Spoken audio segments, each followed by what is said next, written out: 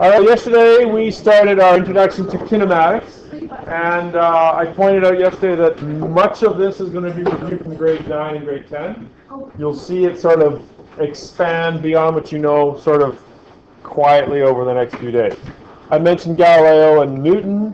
I defined for you mechanics, kinematics, and dynamics, and I also mentioned what translational motion is. If you don't have this handout, I think you should have it now, Riley, right? You and Emily, yeah.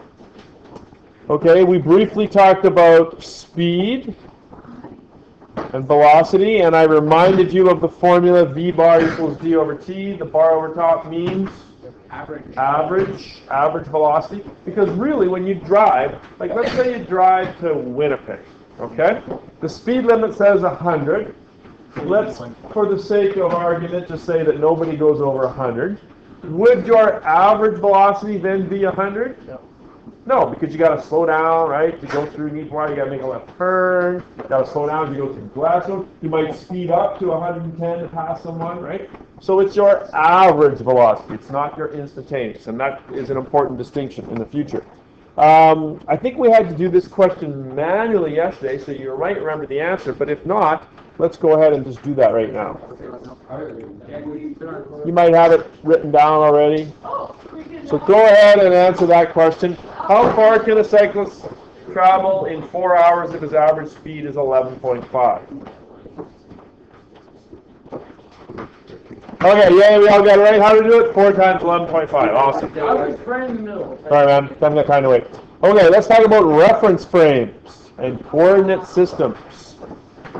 Okay, so flip the page over. Let's talk about reference frames. So when riding in a train, anybody ever ridden on a train before? Yeah, I went to Toronto once on the train. It was a great trip. Yeah. Okay, so you may have, Peyton, on your way to Churchill, you may have observed a bird flying by overhead, and you may have remarked that it looks as if it's moving at a speed of 20 kilometers an hour.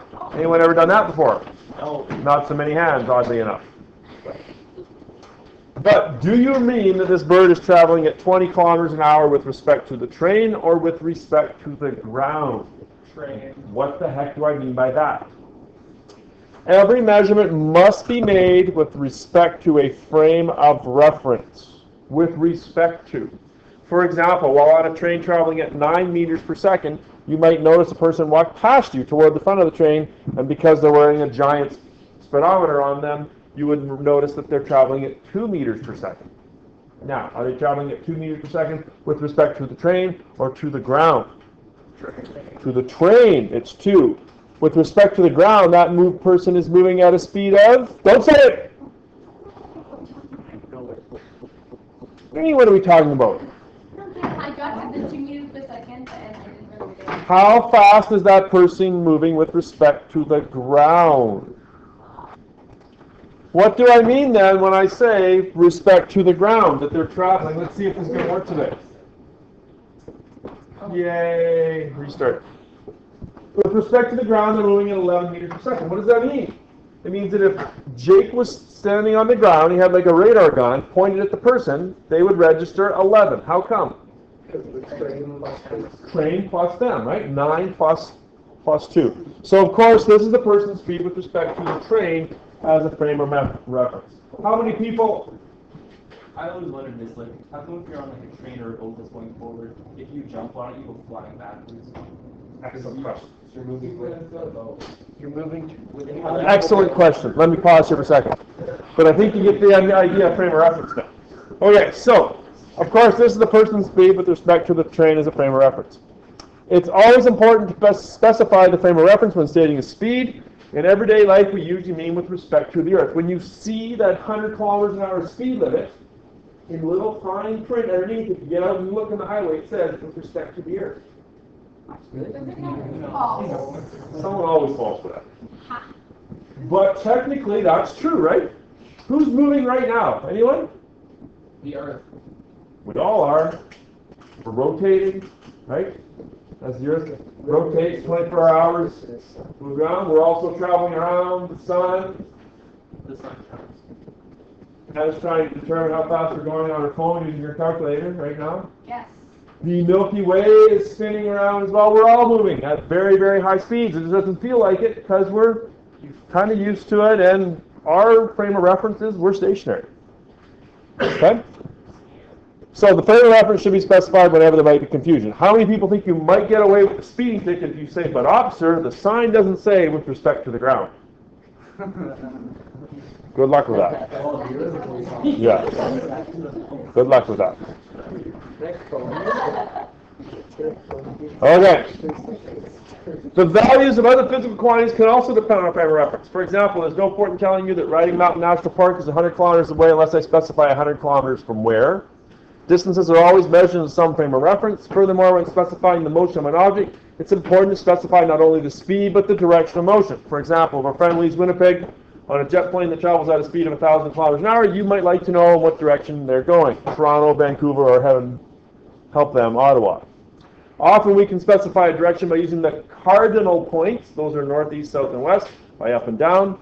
This is not always convenient, so in physics we often draw a set of coordinate axes as shown to represent a frame of reference. So the coordinate frame of reference, the Cartesian uh, plane, anybody know what the Cartesian plane, who it's named after?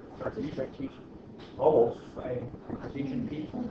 People People of Cartesian. No, René Descartes. René Descartes was a French mathematician, came up with the Cartesian plane. Where's the origin?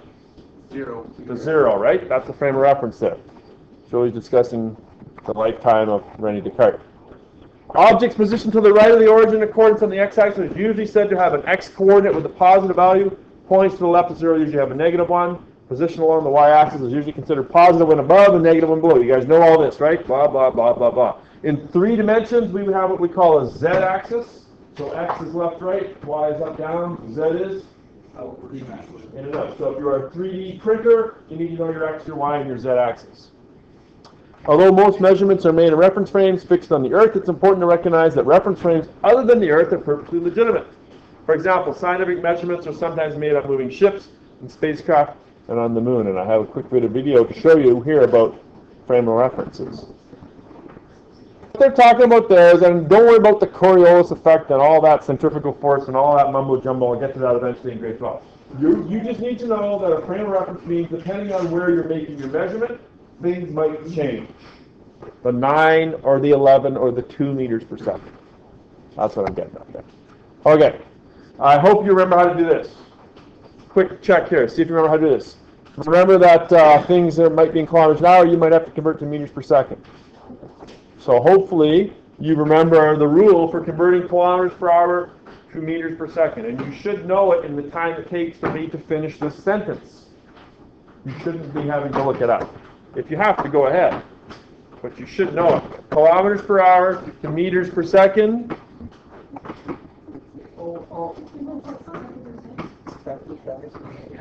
Kilometers per hour to meters per second. Hurry, hurry. Five, four, three, two, one. Quick answer is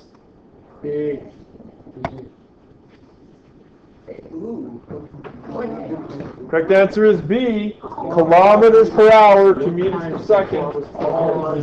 By 3.6. How do you remember it? Well, first of all, it's speeds, so it's not the thousand one. Speeds, and when you're going from big to small, you got to make it smaller, right? So you got to divide. Divide by 3.6. Think about 100 kilometers per hour. If you were to multiply by 3.6, you'd get 3,600 meters per second. How far is 3,600 meters? Yeah, 3.6 kilometers, or well over the distance of the track in one second. That's not. That's pretty fast. That's faster than 100 kilometers an hour. Can you do this one? The rule for converting meters per second to kilometers per hour. I'm really hoping you all get this one right. You should. Correct answer? Yay! Everybody got it. Correct answer is A. Make sure you know those things. Oh. hey, that was kind of an example of inertia there, wasn't it? It had physics. I don't know. Let me see if I can do that again. I went like this, and I tried to like circle it, but I went. You see it bounce off the. I did see that, yeah. There must be like some coefficient of friction or something that holds the bee from sliding. Says Dr. Sheldon Cooper. Just throw it back. Bounce, bounce like a baby. Do you think it'll work for the sea? That is cool. I wonder if it actually, like, all, all, you know, fun and games aside, I wonder if there is an actual way to figure out. We should really hard to see many times. I did, that's as hard as I can push it. Like when you go and you put up a Look at it again. bounce. It's too down. And it went on an angle too, like if I go like this.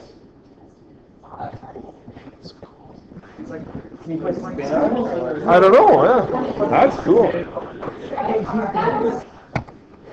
Okay, there's five questions at the back. You know what? They're so simple, I'm not even going to waste class time on them. Oh, no, I You just need, it doesn't say it on yours, you just need to be able to do them. You better know how to define mechanics, kinematics, dynamics, and translational motion. You better be able to write the formula for average speed. You better be able to tell me what a frame of reference is and give me an example. And you better be able to do those conversions. I don't think we need to waste any time doing them. I have handed you a sheet which matches these notes. You should follow along, jot down some of the missing parts. Okay, it's kind of like notes, but I prefer some of the tedious part for you. Is the quick quiz over? The clicker quiz is now over, I regret to tell you. Oh. I will do my best to include more clicker quizzes in the future. Okay, so linear kinematics, basically the same kind of stuff, we're just going to take a little bit of a stretch further. So kinematics is, and I think people can jot this in there, the description of motion by studying the relationships among the variables of position, velocity, and time. You are going to go to sleep dreaming of position, velocity, and time. Dream. Yeah. Well, it might help you go to sleep. I don't know. The description of motion by studying the relationships among the variables of position, velocity, and time. So, if we're studying position, velocity, and time, what can you tell me about the red car, green car, and blue car? Well, which car is traveling at a constant velocity? Can you tell? Red car. Red one? Green one. Could there be more than one? Wait, what are we talking about? We're talking about which car is traveling at a constant velocity. What do I mean by constant velocity? Same speed, right? The red one? Yeah, I, that red one looks like it's pretty constant velocity. I think. Yeah. Which one has? Which one has the greater average velocity? How do you know? How, how do you know the blue one has the greater average velocity? It won the race. The race is the same distance, and it gets there first, which means it has a smaller amount of time, greater speed, right? Absolutely. Which car experiences the greatest acceleration? Can you tell? Like which one speeds up the most? Really? The red one just slows down. The green one Okay. It could be green, it could be blue. It's kind of hard to tell, isn't it? We're going to have to investigate, we're going to have to do some numbers, we're going to have to do some calculations, some graphs. You can't just look at pictures. Yeah. All right. So the word motion implies movement from one place to another. So that means that position, which is where the object is located, is the most fundamental consideration in studying motion. Put into regular person speak, it means you have to understand position before you can study motion. Riley, where are you? Can you be more specific? Can you be more specific?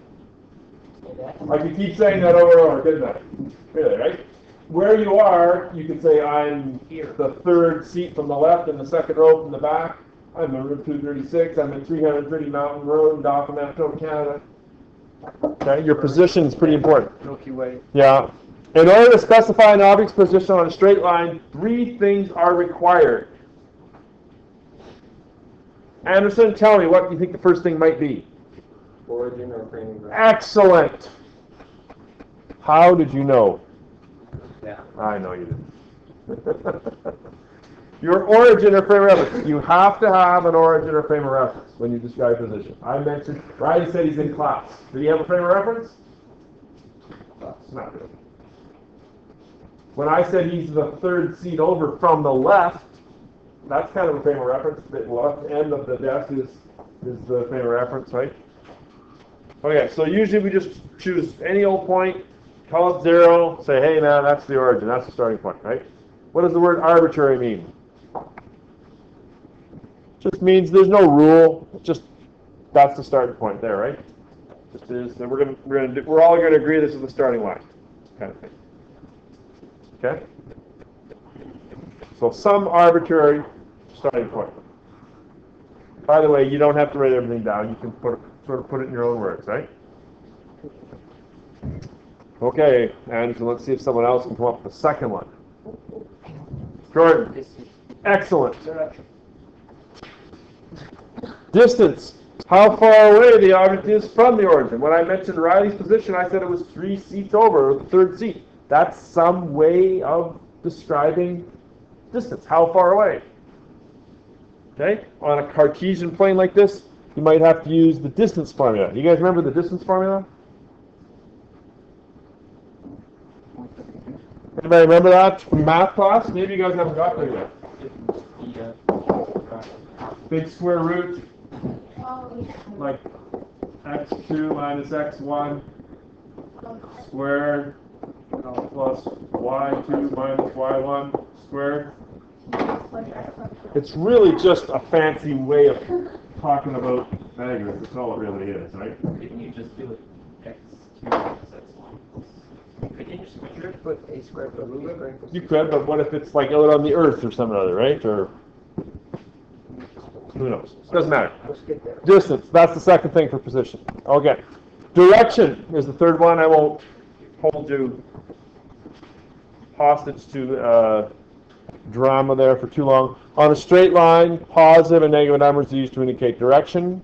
In grade 9 and 10, we may deal mainly with left to right. Grade 11 is very similar, just left to right. Grade 12, we start dealing with what we call projectile motion. And when I walk across Is that what we get to the rocket? yeah. And then when I walk across the floor, that's a projectile. And we do get to use the rocket. What sector positive?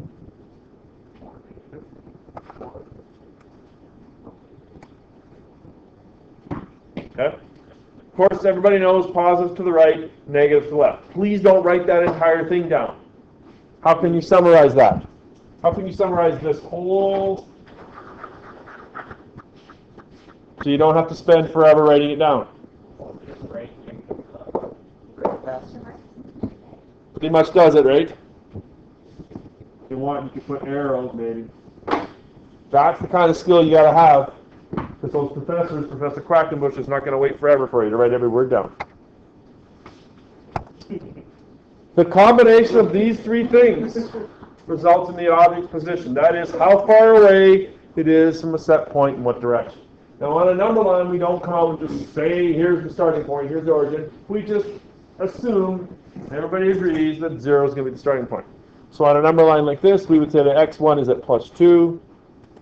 Of course, x2 is at, right here at minus 5, and x3 is over here at plus 6, right? Nothing too earth-shattering there. Probably not even worth writing it down. If you have to write that down, how many people think on the question, on the test, I'm going to ask, way back on October the, is it the second today? Yeah. October the 2nd at 2:07, Mr. Bennet put this diagram up on the board. What position was X3 at?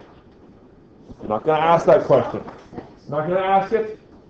I don't expect you to know it. Should we put it on our cheat sheet? Yeah, put it on your cheat sheet. Good idea. Showing straight line motion. Using a position line, consider the following trip which is described in terms of a position line. Watch the ball. It goes like this. Oh, and then it pauses. Oh, and then it comes back. So what did it do? Well, it went to plus 3, and then it came back to minus 1. But there's a problem. If I just showed you that picture at the start, you what what happened there at position plus 3? It paused. Can you tell that now that it paused? All you know is it went to 3 and it came back. You don't know how long it was there. It Could have been there for a day. The description does not tell us such things as how far it traveled. Well, it does say that. Why does it? It does say how far it traveled. It doesn't say whether or not it ever stopped. It doesn't say for how long. Anything to do with time is not not there, right? There is no time component to it. There's no time component. So number lines are not real good for describing motion. What we need is something that you guys, I know you've seen a position time graph. Okay? Position time graph, sometimes abbreviated a PT graph, position time. I tend to call them DT graphs, displacement time. Displacement time, position time, same thing. Okay? So here's a position time graph for the same object's motion. Exactly the same. Well, maybe not. I guess I have to fix my animation. You can see here that it starts at now here. What's on the x-axis here? The time. What's on the y-axis? Position. Now here's a delicate little problem. Because sometimes they're called position is sometimes referred to as the x. They don't mean, Hannah, the x-axis. They mean position x. Some books will even go so far as to call them xt graphs. But the position x is on the y coordinate here. So watch out for that. It does trip people up occasionally. Sometimes you might see delta x for change in position. They don't mean the difference in time. They mean the difference in position. Okay, so I start at zero. One second later on that plus 3. Another second later, at time is equal to 2, I'm down back down to minus 1. And apparently here, this is where I pause. I have to do that on my my animation there. I paused there, and then I went back to, to minus 1. Okay? This tells us a whole lot more. It tells us how long. Does it tell us how fast? No. Do you remember how to get speed from a position time graph from grade 10? That's true. V does equal d over t, Joey, but I'm asking from a position time graph. How do you find the speed? And I know you've done it. Slope sound familiar to anyone? Yeah. Slope, yeah? How many people were thinking slope but were too afraid to put their hand up or, a- or answer? Nobody? Come on, someone must have had slope in their mind, no? Sure, you might as well, because how am I going to know? You might as well lie, right? Yeah, I was going to say that, yeah. Were you going to say that, Dana? Ah. Well, say, yeah, yeah, I got it. What's happening in the interval zero second to one second? Do you have this question on your page? Yeah. What's happening from zero to one seconds? Moving positively. It's moving to the right to a position of plus 3. Right? It's moving to the right.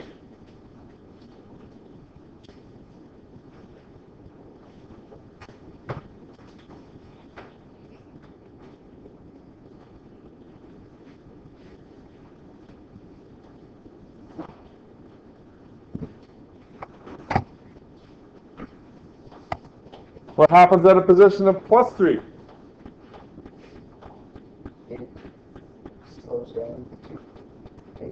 Oh, interesting. Jordan's saying that it slows down. No, it goes backwards. Goes backwards. Does it ever slow down? No. How can you tell? Uh, Use that word that I used about a minute ago slow. in the sentence in your answer. Don't just repeat the word. It's Oh. How do you know it's not slowing down, Joey? Can you tell? Don't know? Chris? The slope's the same, exactly. It's a straight line. That slope stays the same the entire time. The speed is the same the whole time. Right until the very last one one thousandth of a second, it's going the same speed, then! It's done. Right? It just like bounces, right? It doesn't like like if you were gonna run at the wall, you run, right? Okay? And, and you get you realize I should probably slow down. You would slow down. If I throw the ball, the ball doesn't realize that. It just goes the same speed. It just bounces up. Plus. Nothing special. Just turns around. Oh. But it maintains the speed, right? Now, here's a good question. How fast is it going from 0 to 1 compared to from 1 to 2? Is one of those intervals, we'll call it, is the speed the same or is it different? Like, is it faster here between 0 and 1? Is it faster there between 1 and 2? Which one's faster? 0 to 1. How can you tell? There's a couple. There's a couple good answers to this question. Going three meters per second, and then on the way back, going one meters per second. Okay. Kaylin says that it's going. You're saying it's going three right there. Yep. Okay, because it's going from zero to three in one second. Three meters per second, if we assume these are meters. Here it's going two in a second again, so it's only going two. Now I said speed. Technically, the velocity here would be minus two, right? Because what's the slope here? Minus two. So yeah, it's definitely going considerably faster actually between zero and one. It's going faster. Probably lost some energy when it bounced or something. What happens from one to two seconds? I won't hold you in suspense too long. Uh, between one and two? Isn't it just moving back to the left? Right? Moving negatively or moving to the left? Is it not just moving left to a position of plus one? Right? It's actually going a little bit slower too. We've already determined that, right? You can tell a lot from a position time graph. I can even tell you whether it's accelerating or not. If you really knew calculus, you could figure out the jerk factor. This is probably what allowed Ryan's brother to fall asleep in physics class because I talked about the derivatives in calculus. Velocity is the derivative of displacement, acceleration is the derivative of velocity, and the derivative of acceleration is the jerk. It's how fast your acceleration changes. More on that later. I won't get too much into it. Yeah. What happens from two seconds to four seconds here in this graph? A pause. It stopped. How can you tell it stopped? Uh, I heard someone say over here, nothing happens. Nothing good happens. No motion happens. That's for sure. Uh, really? Stays at the same speed? Why do you say it stops, Steve? Because for the, it's going two seconds, but it's still the same position. Yeah, yeah. The time it, the time keeps going on because time does that, but it stays at the same position, right? And you might know that the flat slope indicates it stopped too. So yeah, it stopped at a position plus one for how long? Two seconds. Right? What happens in the interval four to five seconds? Starts moving. Starts moving left again. Does it start off slow and sort of pick up speed? Just gives it right from the start? How can you tell? Yeah, exactly. What would it look like, Steve? Come on up. Indulge me here.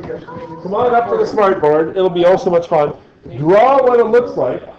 Don't try, careful not to get red ink on you. No, here you go. Tell me, what would it look like? Draw for us here. What would it look like if it sped up as it was going backwards? What do you think?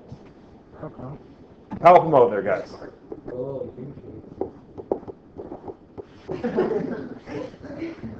don't know. Sorry, man. I didn't mean to put you on the spot. What? Come on up to it. We're decreasing the position to get to the negative one. With slope You can do it. Help them out, you guys. negative. Joey thinks. I think you're thinking. Okay. Other way. Other way? Oh, yeah, like, flip it. You guys could have told me that. I tried. I tried to get him to help you. It's an inverse. You just didn't want to listen, Steve. Like that? Yeah. Yeah, that's what you think. If it's that's good, Joey. Yeah. Um, the question was, what would it look like if it was speeding up as it was going? And this is absolutely right. Curve like this. It would be flat to begin with. I'm just going to make it a bit bigger here. Right? It would start flat and then it would increase its slope. Exactly right. Exactly. More on that in the future. What have I got down here? Oh, I got a object moves negatively to a position of minus one. Um, in our example, though, it's at the same speed. Same speed.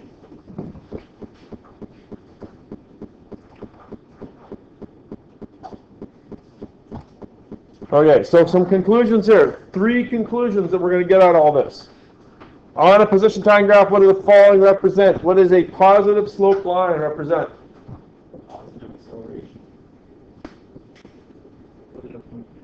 Positive movement, positive acceleration, I hear.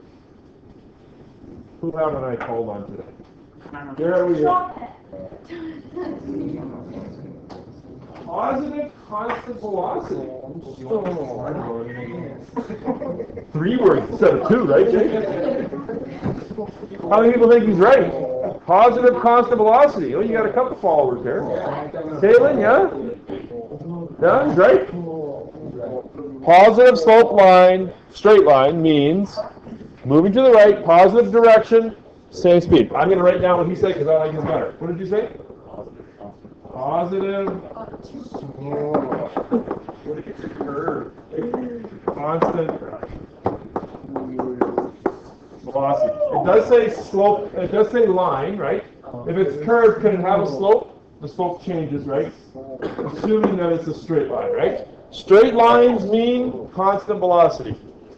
Positive slope means movement to the right. Okay, so given that sort of template, Caitlin, you help us out. Slope is zero. I gave you the easy one, I think. What is what does flat slope mean? Emily, help her out. What is that is true, but I need a little bit more. Because this one is constant speed too, right? So what's different? Pardon me? In a certain direction. No, you've actually gone away from it now a bit. What do you think, Emily? Me? Not moving, absolutely. No motion, stop. Flat line means you're dead. Do you have Riley Cortez? I do. Riley, can you come to the office, please? He'll be right there. Wait 30 seconds. Calls me. Okay, so slope is zero, as Steve says, flat line, dead, no motion, you're stopped. Doesn't matter where you are, you're stopped. Last one, negative slope.